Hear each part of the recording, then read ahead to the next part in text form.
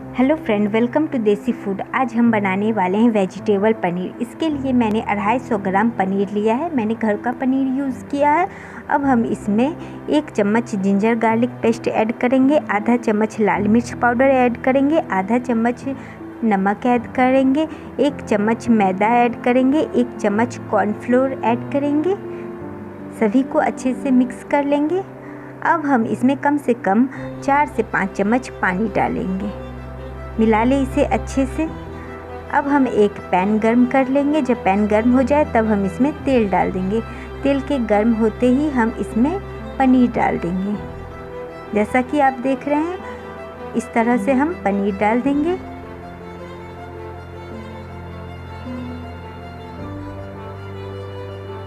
पनीर को हम बीच बीच में इस तरह से चलाते रहेंगे। इसे हम तब तक फ्राई करेंगे जब तक कि पनीर का कलर गोल्डन ब्राउन कलर का ना हो जाए।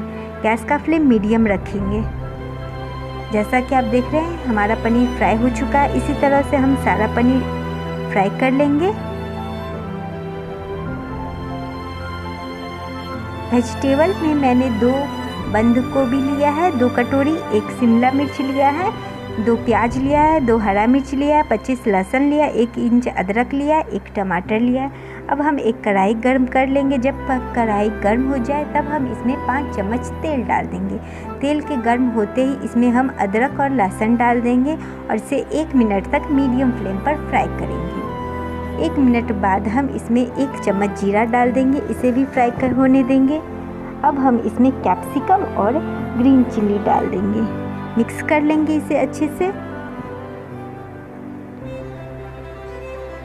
अब हम इसमें प्याज डाल देंगे।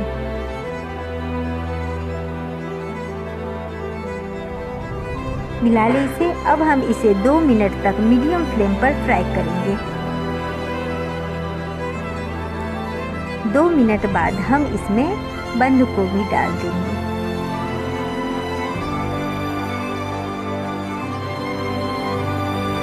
सभी को अच्छे से मिला लेंगे। अब हम इसमें एक चम्मच नमक डाल देंगे। मिला ले इसे। अब हम इसे ढककर पाँच से छः मिनट तक लो फ्लेम पर पकाएँगे। अब हम एक कटोरी लेंगे, उसमें दो चम्मच ग्रीन चिल्ली डालेंगे, दो चम्मच सोया सॉस डालेंगे, दो चम्मच टमाटो सॉस डालेंगे। आधा चम्मच विनेगर डालेंगे, दो चम्मच सेजवान का चटनी डालेंगे, सभी को मिक्स कर लेंगे। जैसा कि आप देख रहे हैं, हमारा वेजिटेबल अच्छे से फ्राई हो गया है।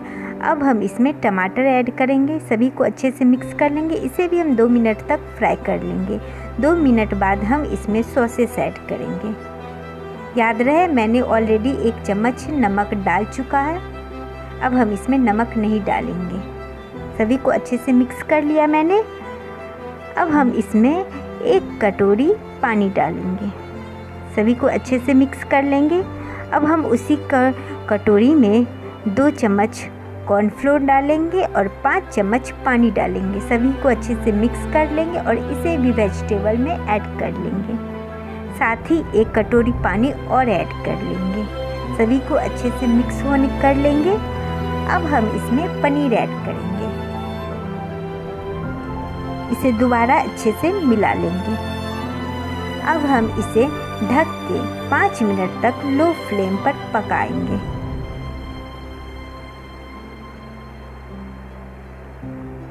पाँच मिनट बाद हमारा वेजिटेबल पनीर बिल्कुल रेडी है, जैसा कि आप देख सकते हैं।